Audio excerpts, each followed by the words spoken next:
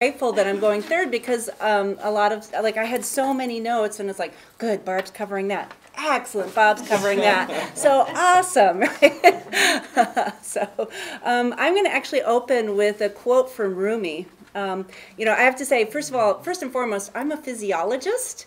Um, exercise physiology is my jam. Um, so I work with human bodies. Um, but one thing I know one thing I absolutely know for sure in Oprah's world is our bodies are feelings.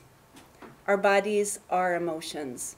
Um, and so people ask if I do trauma informed yoga. I was like, you know, which body in this room doesn't have trauma?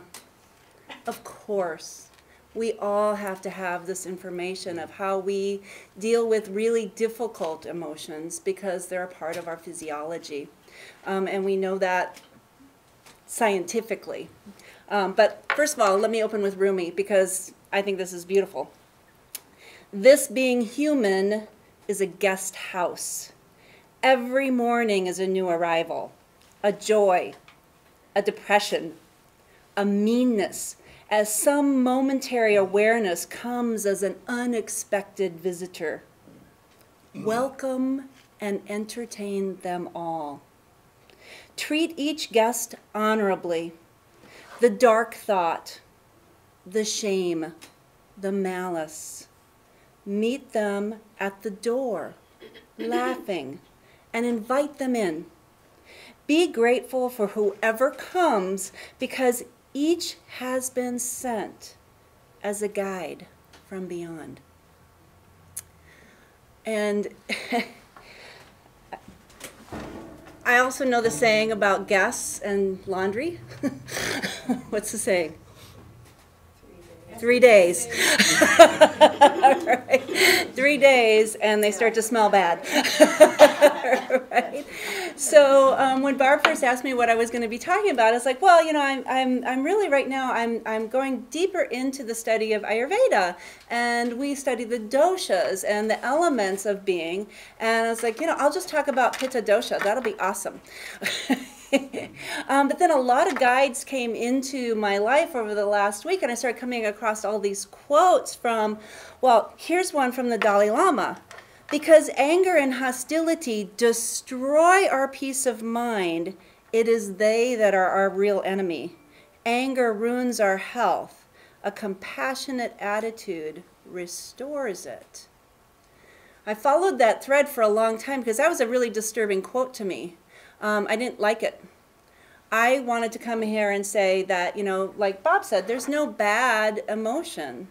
Um, welcome them all. But here's the Dalai Lama, you know, saying it's an enemy. Um, so I sat with that. And then, like not two days later, there was this from Brene Brown. I don't claim to know what fuel works for, best for everyone. You have to say it in a Texas accent. I don't. but what I know for sure is that I believe in love's promise and I run on love. That doesn't mean I don't get angry. Anger is a soul sucking lifetime companion, but it is also a great catalyst for two of the grittiest, truest forms of love justice and equity. Yeah, she nailed it, didn't she? You know, and that's, I think, what Barb said. And um, so then here's another little voice from the universe I had to welcome in this morning was that um, I don't know if anybody listens to NPR early on Saturdays, but my alarm went off at 6. I'm like, oh, not ready to get up yet. So I turn on the radio so I don't like completely go back to sleep. And it was um, the TED Talk radio show, and it was all about anger. I was like, maybe I should listen to this. And one of the things they talked about, and, and Barb touched on this, who has the right to show anger? Not a black man. Because what do they do if they show they're angry? They get shot. Right? Not a woman, because we get called bitches. Right? So, you know, it's like, whoa, here's another aspect of anger that I really hadn't even begun to think about. So it is a really big topic. Um, Another person that I came across, and I'm going to have the, the sheer pleasure of going to a retreat center in Western Mass in a few weeks, and Valerie, Valerie Kaur is one of the speakers. Now, she's maybe not somebody that you know, and she's not somebody I really knew before, but she's an attorney. She was living in um, New York City during 9 11. And um, she happens to be from South Asia ethnically. Um, her family is of the Sikh religion. So, Sikh religion, if you don't know, the men wear turbans. Um, and but she was born and raised in this country. Her family's been living in the United States for hundred years, but they maintain their their ethnic um, ties to their religion. Um, and of course, right after 9/11, what are all the images of the people that you see? People with brown skin and wearing turbans, people just like her family. And sure enough, her uncle, who had a gas station in Oklahoma, was shot and killed by someone who was fearful of that look of person. Did she have the right to get angry?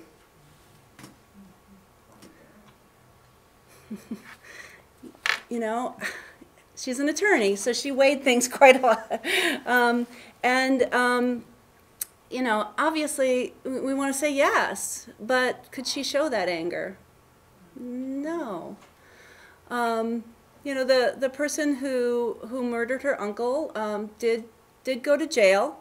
It took her 15 years before her, her father and her called him and spoke with him and heard his story.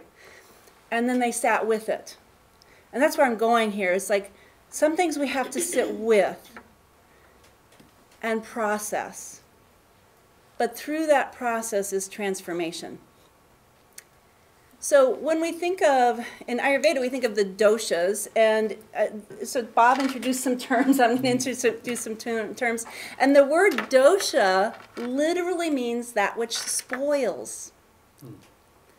So you can sit with something, but after a while it gets kind of rotten, like the laundry, like the guests who have maybe staying too long. Um, but there's not anything necessarily wrong with the energy itself. So the three doshas, kapha is the energy of earth and water. So we think of that as our physical manifestation.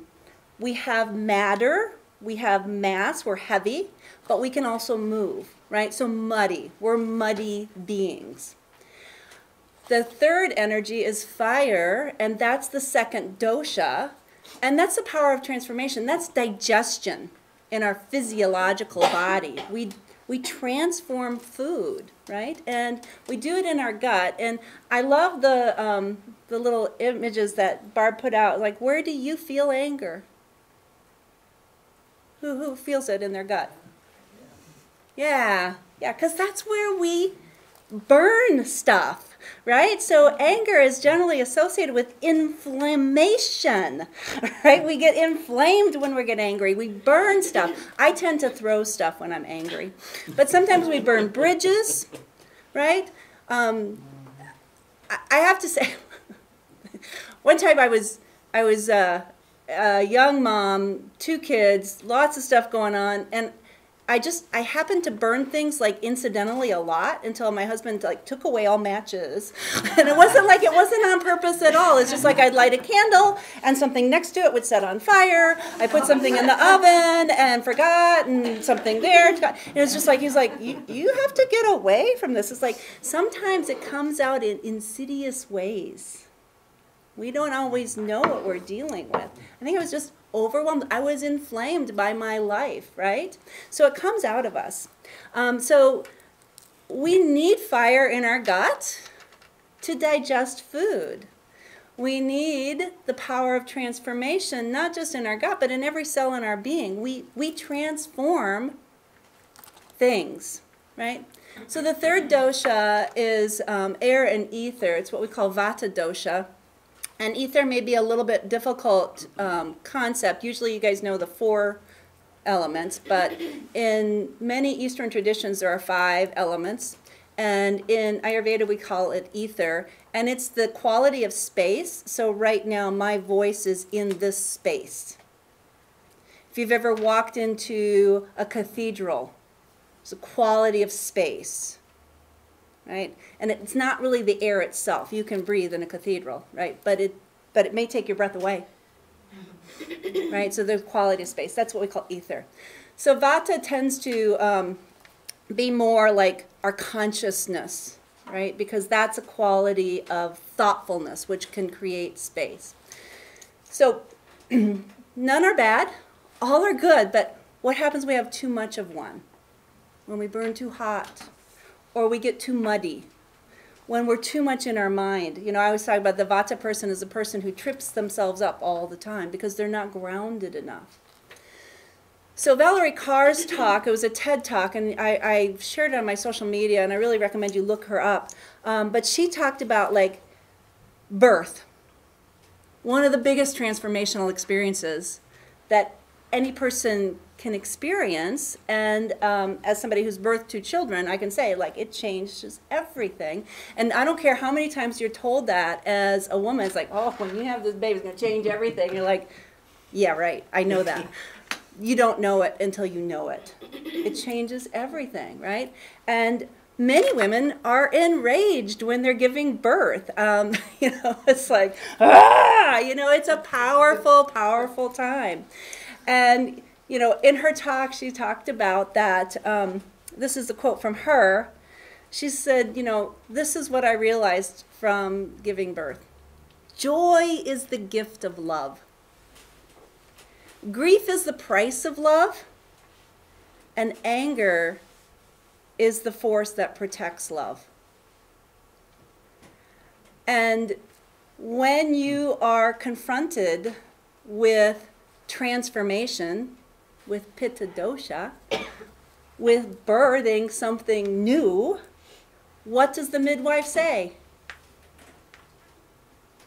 Breathe and push, right? Breathe, air, push, get grounded. Transformation comes from the center. And sometimes to find that center, we have to sit with it. Doesn't mean we let it go. So it might take time. It might take 15 years to call the man that killed your uncle. But there was transformation that happened there. She didn't let it go. She didn't Forgiveness is not forgetfulness. But the relationships changed. The man asked for forgiveness. Her father said, You, you were forgiven because you're human. Because we, we allow all of these emotions into our house.